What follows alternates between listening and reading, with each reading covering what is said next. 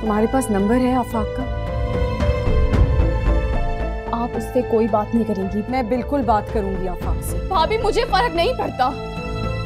मुझे आफाक से कोई शिकायत ही नहीं है। ऐसे हज़ारों आफाक आ जाए। नौफिल को मुझ पे एतबार करना होगा। मुझे मुझे समझना होगा।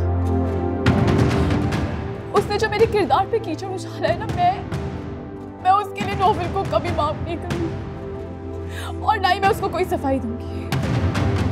मैं नौफिल को कभी माफ़ नहीं कर सकती। परेशान मैं नौफिल को कभी माफ़ नहीं कर सकती। ऐसे नहीं बोल।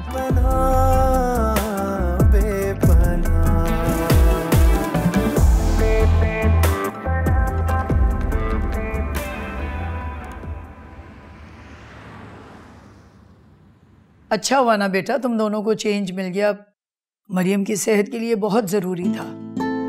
और माशाल्लाह पहले से बहुत बेहतर भी लग रही है। जी दादी बस इन्वायरमेंट और हवा पानी चेंज होती है तो अच्छा असर तो पड़ता ही ठीक कह रहे हो बेटा तुम। यहाँ तो खालिश हवा भी नहीं मिलती। वो भी मट्टी में अटी हुई होती है। पुप्पो आप कैसी शुक्र है बेटा अल्लाह का लाख लाख।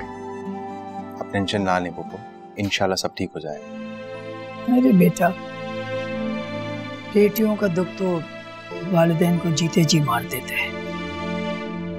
अब हम आ गए हैं ना? इंशाल्लाह दोनों को साथ बिठा के बात करेंगे।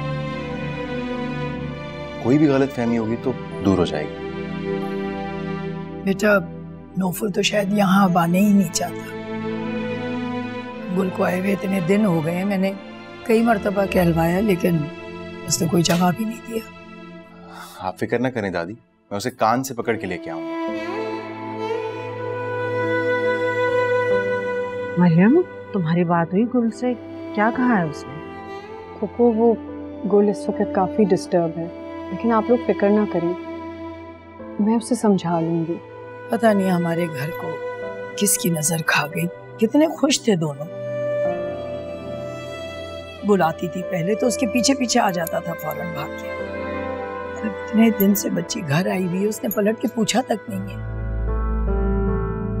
वो काली नज़र वाली तो आप ही के घर में मौजूद है दादी जान।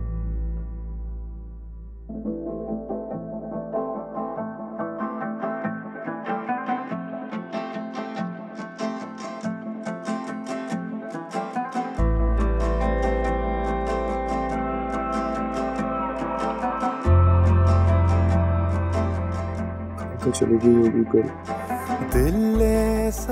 मगर तुम्हारी खुशबू अभी यहाँ मौजूद है। ये कमरा अभी तुम्हारे वजूद की खुशबू से महक रहा है। खोया मैं यूँ नहीं मिल सका। दिल मुसाफिर था जो राह में थक गया कोई दिल में शौक दीद ज़्यादा ही हो गया। इस आँख में मेरे लिए इनकार जब से।